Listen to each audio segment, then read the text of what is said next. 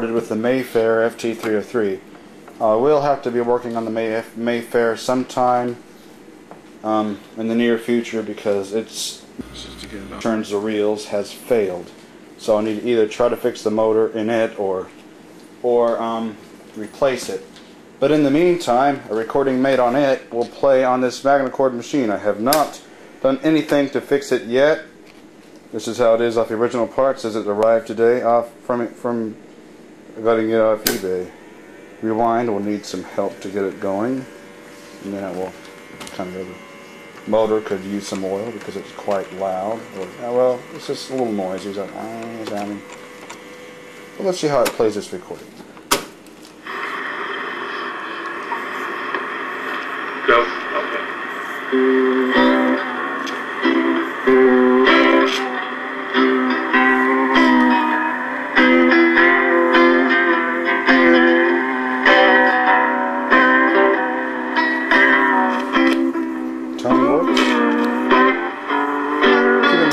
Mayfair when I was recording that had some odd ways in the speed, so that was probably the recording.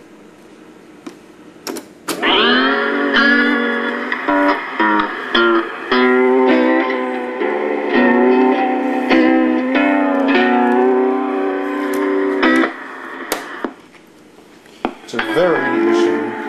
What's that?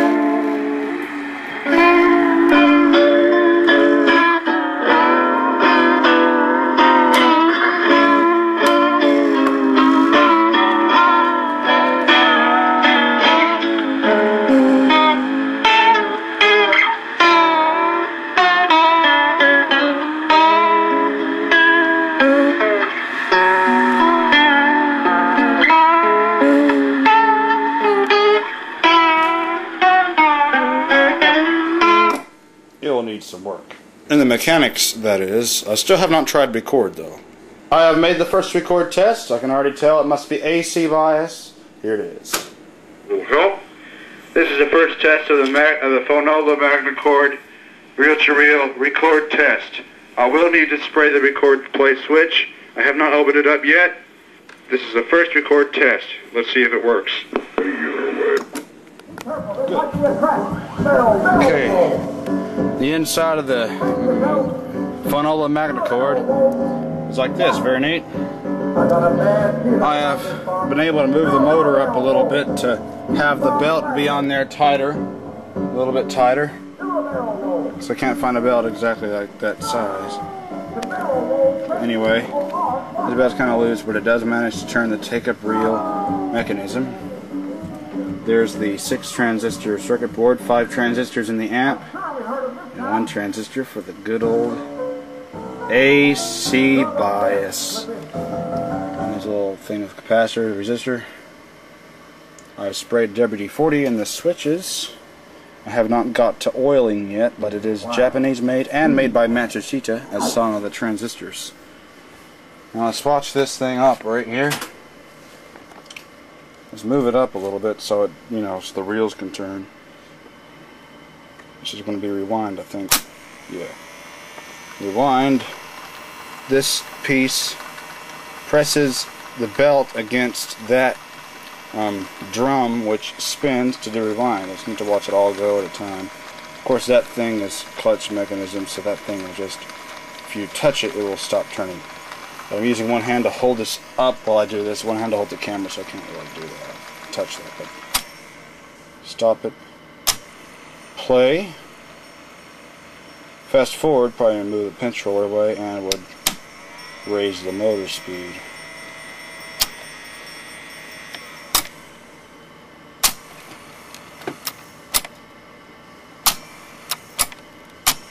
That thing will get on tighter on the belt so it moves better. Really like the looks of that circuit board. See, I, I like these old electronic stuff. I like the I like the looks of the circuit board that doesn't have the green on it. Just that vintage look. I, I, I, I like it. On the safety other side of the machine, um, you can see anything in the reels.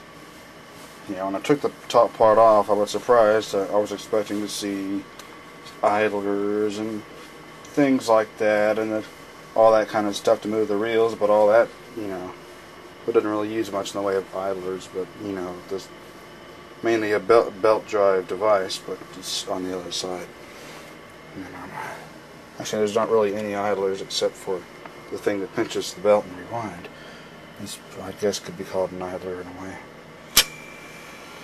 Rewind. Course, the capstan turns out does.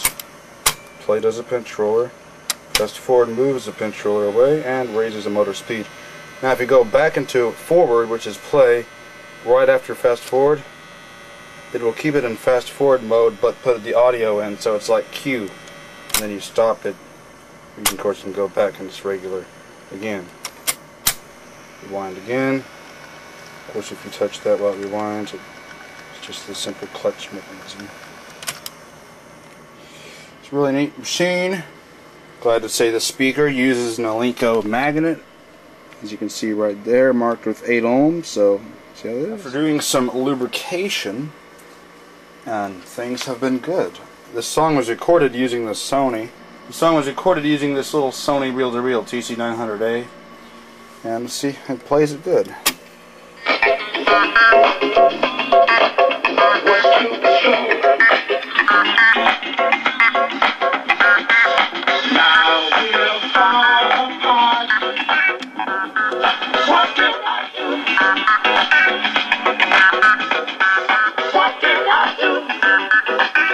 Rewind is now, before when it was sluggish, it's now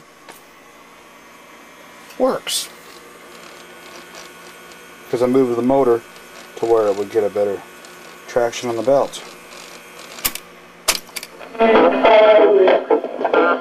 Now that, you heard it was slightly slower and more distorted. That's because that one was the same song, but earlier I recorded some with the Electra rim drive, reel-to-reel, the Electra TP500. I was just doing some experimentation with different machines the other day, just recording, you know, as you can see, I have some, you know, those out like the Lloyds and stuff just sitting out there because I was doing some experimenting. It's uh, just different time. Just let's fast forward that.